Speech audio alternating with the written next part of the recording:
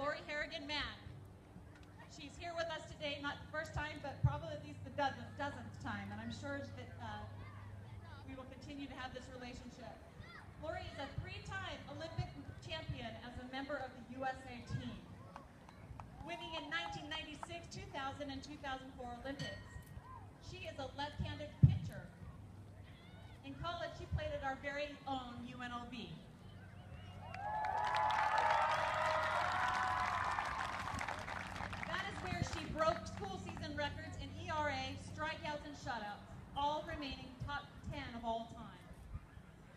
very impressive. Lori's jersey number was retired at UNLV, and she was inducted to the Rebels Hall of Fame. We are very excited to have her here with us today to share her stories and her experiences over the years. Welcome, Lori Harrigan. Thanks.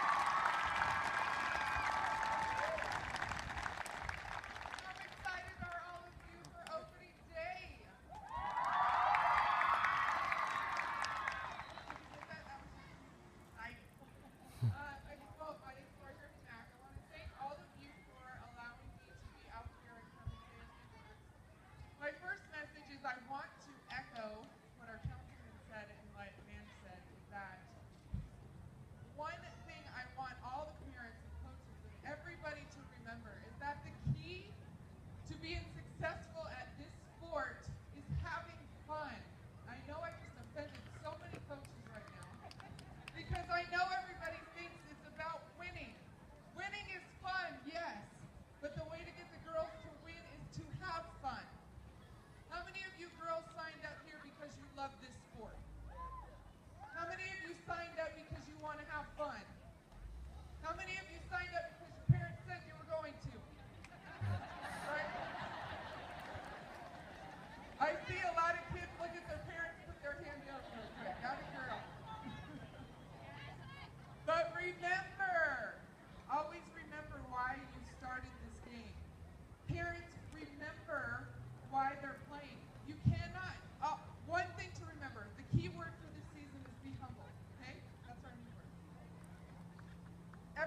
one of your kids cannot be the number one player in this league.